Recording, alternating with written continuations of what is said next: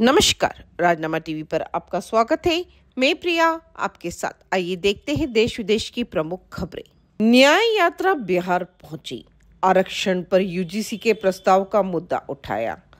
RSS Bhajpa नफरत फैला रही है, राहुल गांधी ने कहा। अमेरिका में भारतीय युवक ने जिस बेघर को शरण दी, उसी ने हथौड़े से हत्या की।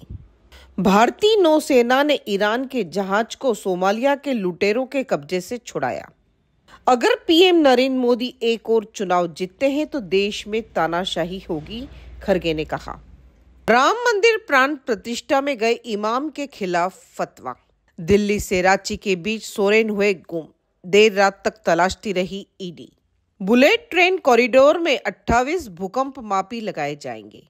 आतंकी संगठन सिमी पर बेन पाँच साल और बढ़ाया। मैक्सिको में बुल फाइटिंग पर सुप्रीम कोर्ट की रोक हटते ही उमड़ा हुजूम।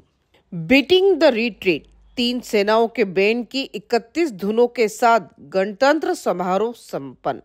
तुर्की में चर्च में घुसे हमलावर, फायरिंग में एक की मौत आईएस ने ली ज़िम्मेदारी। जम्मू कश्मीर के बारामूला के गाँव में लगी आग, सेना ने बुझाई, बड़े नुकसान से बचाया।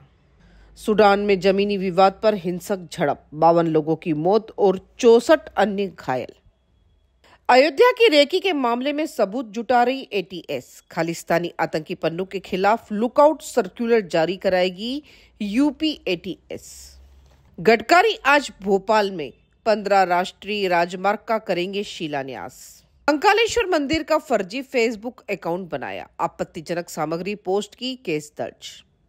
डिंडोरी में पति ही निकला एसडीएम निशा का हत्यारा। एसडीएम ने सर्विस बुक में नॉमिनी नहीं बनाया तो पति ने मार डाला। बाकी की तमाम खबरों के लिए बने रहिए राजनामा टीवी के साथ। धन्यवाद।